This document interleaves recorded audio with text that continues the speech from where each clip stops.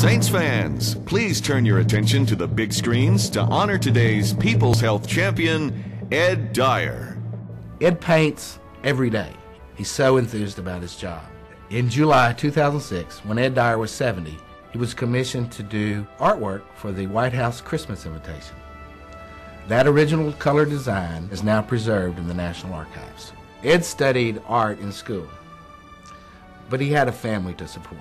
He worked for Boeing as an engineer at the Michoud facility here. After his family was raised, Ed said, It's time for me.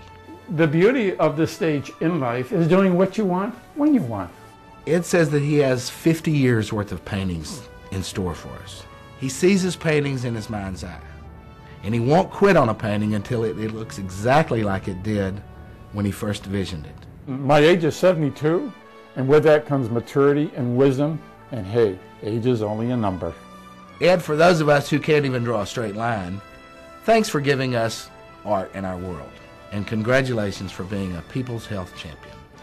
Ed Dyer, your People's Health Champion.